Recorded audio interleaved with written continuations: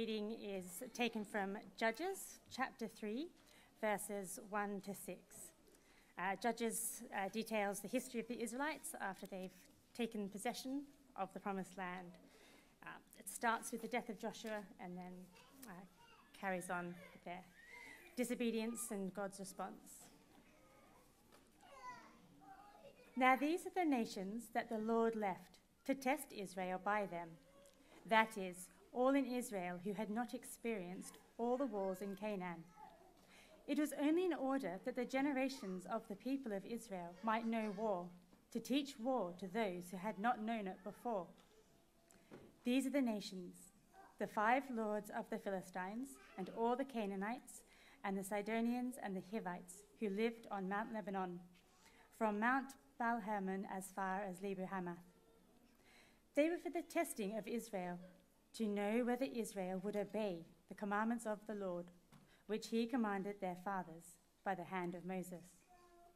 So the people of Israel lived among the Canaanites, the Hittites, the Amorites, the Perizzites, the Hivites, and the Jebusites. And their daughters they took to themselves for wives, and their own daughters they gave to their sons. And they served other gods. Well, before we um, turn to Luke's Gospel, uh, let me just encourage all the parents uh, whose children are on the left that Matt is not a prophet. He is not a prophet, is not a prophecy. Um, so be encouraged. There's great hope for your children even yet. And for our pianists who just ordains at her own self will, uh, when we will and will not sing verses, be encouraged. Um, we're happy just to roll with all those things. So keep that in mind because we're going to be talking about ships and storms and potentially ships that even sink. And so um, we've got to Luke 8, and the reason why we, um, we read from Judges, as you'll notice, is that it's talking about a generation of God's people who had not endured hardship or war. And so they'd come out of these 40 years of wandering, and, he, and the scripture says that the Lord had left the nations among them to test them. It was intentional. And we're going to get something similar to that in our text today. We're reading from Luke chapter 8, verses 22 to 25. It's a well, well known section, but hopefully we can have some new insights into that. So let's read together God's word.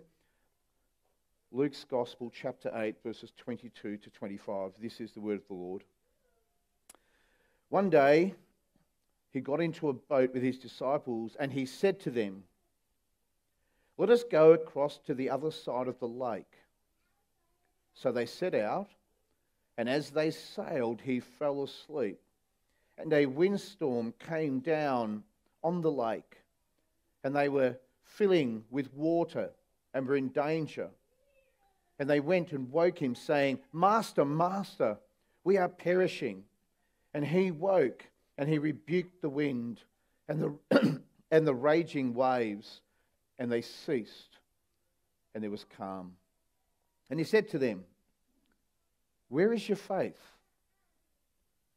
And they were afraid, and they marveled, saying to one another, Who then is this that he commands even winds and water, and they obey him? Well, let's pray and then we'll give some thought to God's word. You know this, but you forget it. Having control in any aspect of your life is actually an illusion. It's an illusion that I think the competent and the strong and the successful and the powerful, it's an illusion that, that, that they like to project. But, but the Bible would say to us, we're not in control. We were never in control.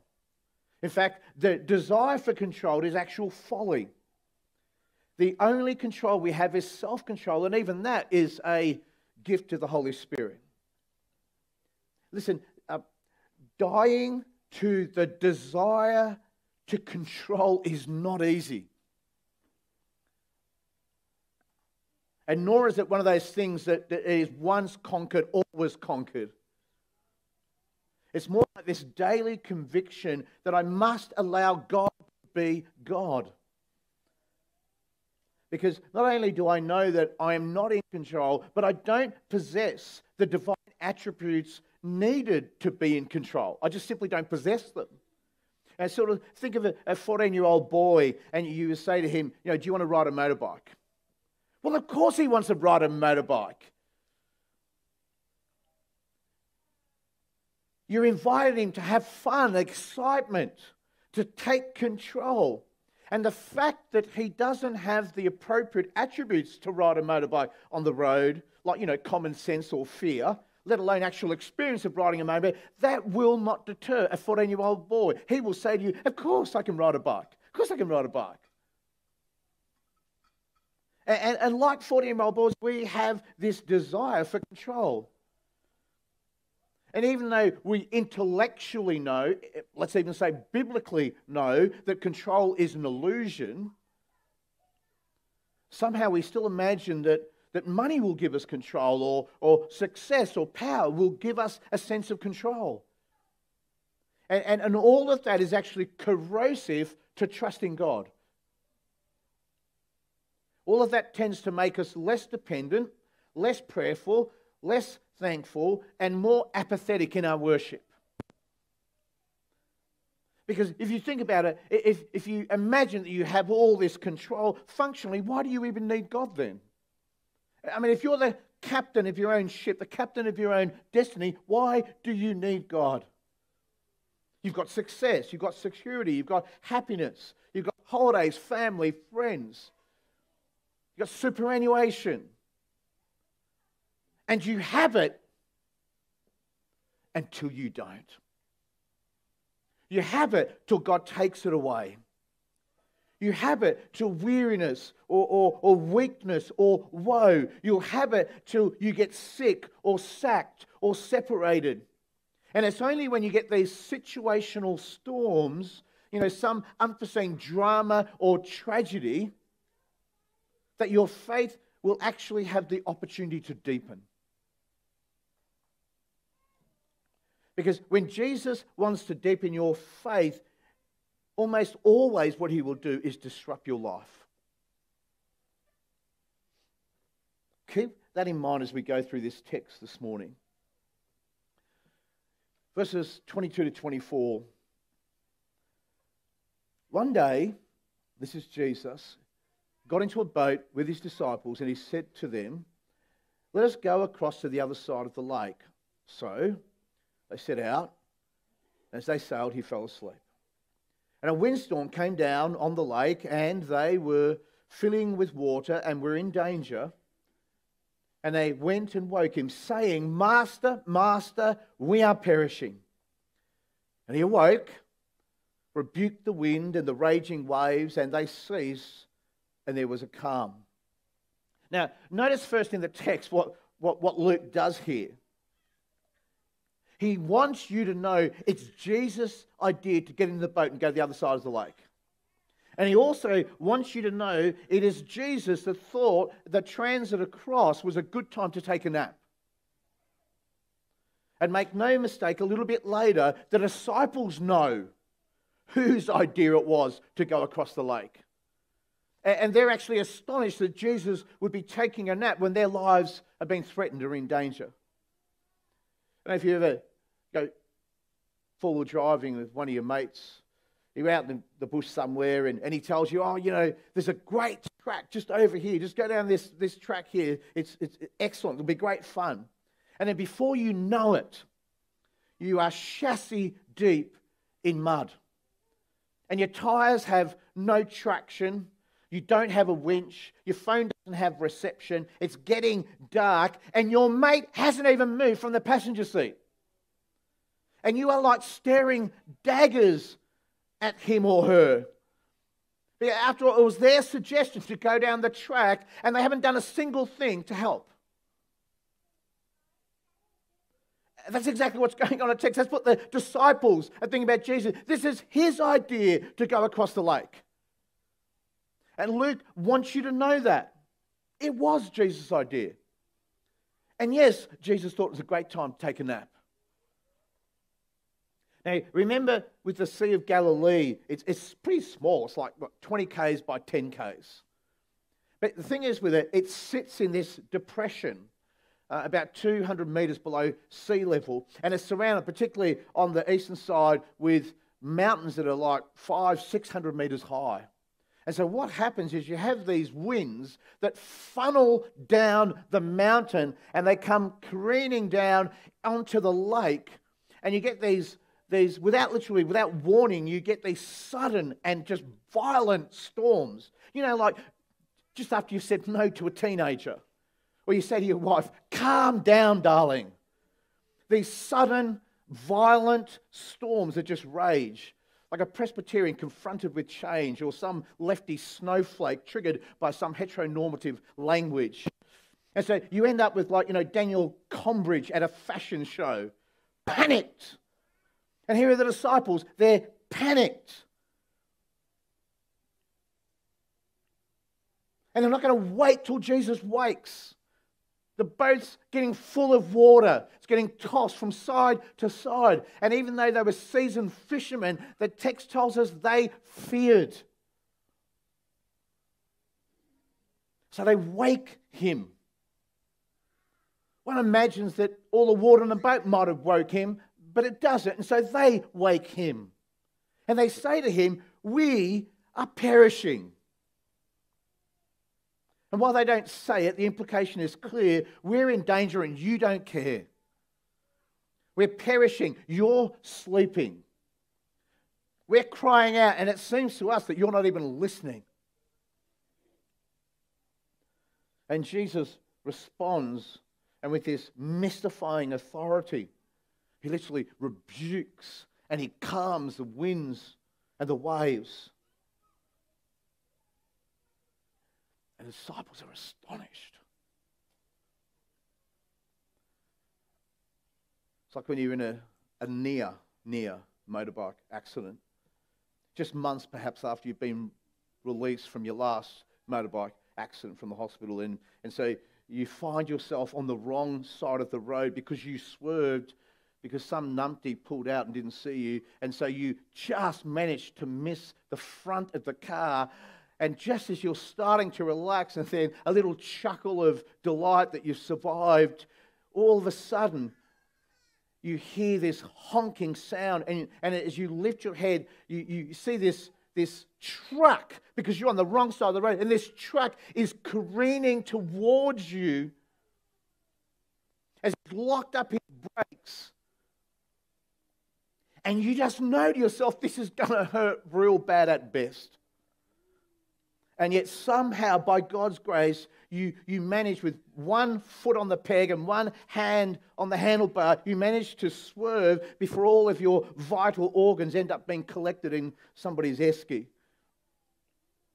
And there's that moment where, where time literally stands still where a calm, if you said, in a sense, befalls you, and you just try to process what happened. What, what happened then? How did I even survive that? That's what the disciples are doing. Everything's just gone calm on the Sea of the Galilee. And this water, this boat, which is half full of water, they're just trying to process what just happened. He spoke, and it all stopped. Because these things force you, they force questions about what I think about God's sovereignty. It forces you to reconsider God's relationship to all the storms of life. And if you were to believe Scripture, if you were to understand that God is both sovereign and powerful, and, and the world isn't random and it's not out of control, if you had this biblical view of God, then you would understand that God ordains the storms. God is sovereign. And, and, he's sovereign not just over the good stuff, which is, it's, you know, oh, praise God for this. Like, you know, we had a grandson, Noah, like, praise God for that. But he's sovereign even over the bad stuff, the hard things, the horrible things, the unwanted things, the painful things. That's why the prophet Isaiah 45, verse 6 to 7 says, I am the Lord and there is no other. The one forming light and creating darkness, causing well being, creating calamity. I'm the Lord who does all these things. And while it is true God is not the author of evil, and while it is true there is deep mystery in all of this, you know, like how is it that God is related from a first cause to a second cause? How is he related to Satan or Judas or Pilate or his own people as they commit sins? That even when evil or hardship or calamity unfolds, like it you know, did in Job's life, that God is sovereign over all these storms. And while Satan and Judas or Pilate's motive may have been evil, that the, the scriptures confirm God's sovereign control and his motives were always to work things for good, even using their evil. That's why how we learn that truth of Hebrews 13:5 that I will never desert you nor will I ever forsake you says the Lord. Not even in the trials not even in the storms. Or that triumphant confidence of Paul in Romans 8 verse 35 who will separate us from the love of God in Christ Jesus? Shall tribulation or persecution or famine or nakedness or dangers, a sword. And you're all supposed to say, no, none of those things will separate us from the love of God in Christ. Because the purpose of salvation is to make you more like God, to be more like Christ. And so, whenever the Lord wants to deepen your faith, He will disrupt your life. And whether that's a relational storm, you know, with a spouse or with parents or grandkids, or maybe it's a financial storm where you get demoted or retrenched, or you get behind on a mortgage or rent, or you see your savings disappear faster than a political promise, or maybe you get caught in some sort of moral storm. And your integrity and your honesty and your purity, it's all put to the test. And, and, and you face a storm of temptation could be a car crash, could be cot death, could be cancer, could be a job that you wanted, man that you loved, or a, or a hope, that, a dream that you'd nurtured. And whenever Jesus wants to deepen you, your faith, he will, he will disrupt your life and he will take you into a storm. And what that does, it destroys the illusion of control. So that you come to understand, brothers and sisters. You are one phone call away, one doctor's visit away, maybe one car trip away from that illusion of control being shattered once and for all. And in some ways, the life of faith only ever flourishes when that illusion of control finally dies. That, that, that the life of faith, it, it can only truly flourish when that illusion of control is finally put to death, when it dies. And more than that, it's not just the illusion of control that needs to die, but it's also you learning to die for your desire for control because you desire to be in control because it's safe.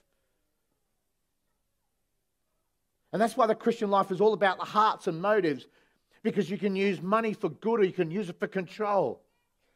You can use your job for good or you can use it for control. You can use relationships for good or you can use them for control.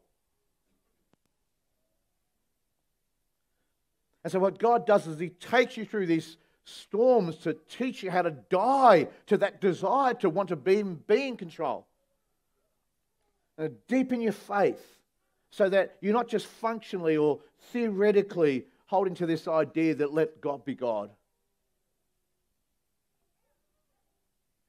You're supposed to grow in your faith that, that your God, your Lord, your Savior, that He's bigger than storms, stronger than seas, wiser than winds. This is the same God, the scripture tells you, crushed Satan, slayed sin, defeated death. That's why the Dutch theologian and one time Prime Minister Abraham Kuyper wrote, There is not a square inch in which the whole domain of human existence over which Christ, who is sovereign over all, does not cry, Mine, mine. And see, when you understand that, that it's not yours, it's His, including your life, that's the beginning of learning how to die to that desire for control. And that's when your faith will start to deepen. You should remember that the next time the Lord disrupts your life. The next time you have a storm, whatever it looks like, you remember this and you actually say, I'm seeing past the storm and I'm seeing that God is wanting to deepen my faith. This is all about how you'll respond. Because in every storm, God asks questions. Look at verse 25. He said to them, Where is your faith? They were afraid and marveled, saying to one another, Who then is this? That he commands even winds and water, and they obey him. And if you've got your own Bible before you, feel free to underline this. God is asking questions in every single storm. Where is your faith? What does it look like? In fact, you can go as far as saying that God ordains storms to expose our lack of faith, to expose your lack of faith. Because when life is great and when waters tend to be calm and all your plans are coming to fruition and your family is strong and your work's going good, probably feel like you can navigate quite well, even on your own. And your untested, unstressed faith probably feels quite adequate. But what storms do is they actually reveal our distorted view of life. They unveil all of our disordered loves. They reveal our focus on self, a bit like the disciples in the boat. I'm pretty convinced they're not so much worried about Jesus here that he might die, the Messiah. They say, Master, Master, we are perishing. We are perishing. And I'm not convinced that we included Jesus, at least not as the primary concern. And storms do that. They reveal at a reflex how we actually think life is about us. And it's like we're almost shocked that it would cost us something to follow Jesus. I mean, we've always known it intellectually, perhaps even theologically, but we've never actually planned on being in the boat when the storm hits. And not only does it disrupt our lives, it actually disorientates them.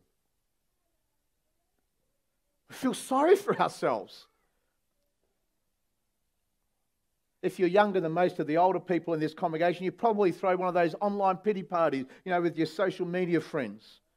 Or you withdraw from God, you withhold in worship, and you wallow in sorrows because you're so focused on yourself.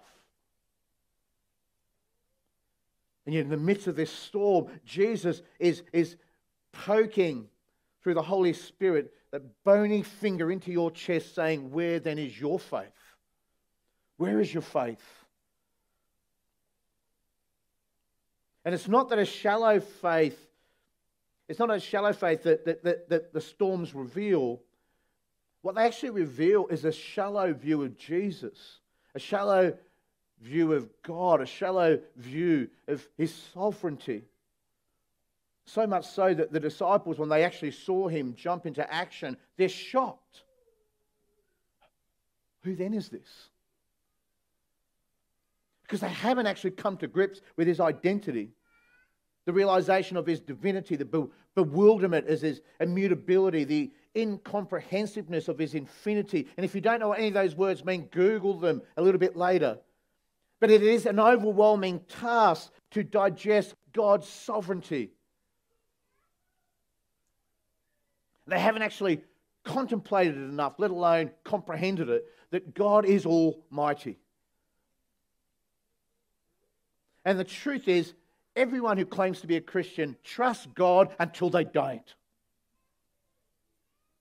They, they trust God until they don't. They trust God until they're in a storm. And the storm is meant to deepen your faith. So you ask the question who then is this? Do you have an answer to that this morning? Could every single one of you, from the youngest to the elders, could you actually answer that? Who then is this? Who brings sickness and cancer and allows his son to go to a cross and allows children to be sick and, and, and brings dementia into your family and your friends and, and, and puts some to his right and some to his left. Who then is this? Who is this sovereign who rules and, and who, who reigns?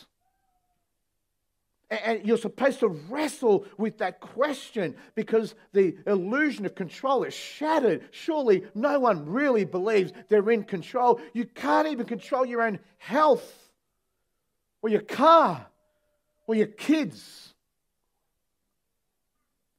And these storms are meant to deepen and stretch and test your faith. So you ask the question who then is this? And you're supposed to come up with an answer that looks something like this It is God, the kind King, the loving Lord, the sovereign Savior, the one who rules and reigns, the one who builds up but tears down, who gives life but then takes it away. It's the one who sees all things, knows all things, ordains all things, reigns over all things the one who is always good, always just, always right. And the one who rightly disrupts your life to deepen your faith. While it is true that Jesus often calms the storms, and you'll all have your own story about that, where he tested your faith and deepened your faith in a storm. I want to also affirm, and, and listen to me when I say this, sometimes Jesus ordains the boat to sink. You understand that, don't you? For his own divine purposes, sometimes he ordains the boat to sink. Not because he's impotent and can't save the boat, but because he's omnipotent and he has good and divine purposes in the boat sinking. Stephen understood that when he was stoned to death. John the Baptist, remember him? Imprisoned and then beheaded. And while it's true that both Peter and Paul were arrested, put in prison, and then freed, they, like every other bar one of the apostles, end up crucified, just like their Lord. Listen, sometimes the boat sinks. But because you know Him, and because you've faced many storms in life with Him, and because your life has actually already been disrupted and your faith deepened, when the boat sinks, the answer is not panic,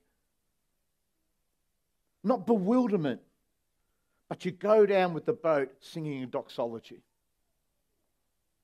like John Huss when he was burned at the stake for his faith. And it's recorded in Foxe's Book of uh, Martyrs that he went out singing.